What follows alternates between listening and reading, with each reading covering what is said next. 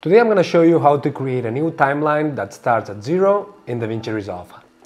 Basically the problem here is every time you go and create a new timeline and hit create, as you can see it starts with one and that personally annoys me a lot. So here's how you can change it. You go right click, timeline, create new timeline and then here you can change the one to zero and hit create. And now as you can see, timeline number 4 starts at 0. Now there is another way to do that. Let's say I'm on timeline number 3, which I already created and starts at 1.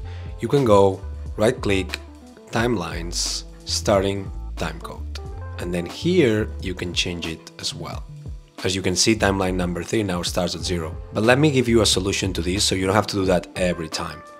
Go into Resolve, Preferences, Editing, User and here under start time code you just need to change this to zero and I like to start my projects with like six video tracks and six audio tracks now if I go right click timeline create new timeline I don't have to worry about anything the time code will start at zero and I will start with like six video tracks and six audio tracks and that's it. This is how easy it is to create a timeline starting at zero in DaVinci Resolve. And that's it for today's video. Thanks for watching and I'll see you soon.